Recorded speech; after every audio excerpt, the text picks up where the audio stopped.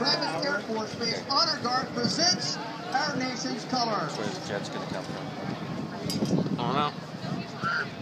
Please remain standing as Sonoma Track Minister Tim Boovey offers today's invitation. Gracious God, we give thanks for this beautiful day here at the Raceway in Sonoma. We ask your blessing on all those present today, from our volunteers to our race teams and all of our fans. Please keep our drivers safe as they compete for a spot on the winner's circle. Help us all to realize that winning in life goes not to the swiftest, I want a funnel the cake now. bravest, or most skilled, but to everyone who displays grace to others, just as you do for us all. Amen. Here to perform our national anthem from the University of California, the Straw Hat Band.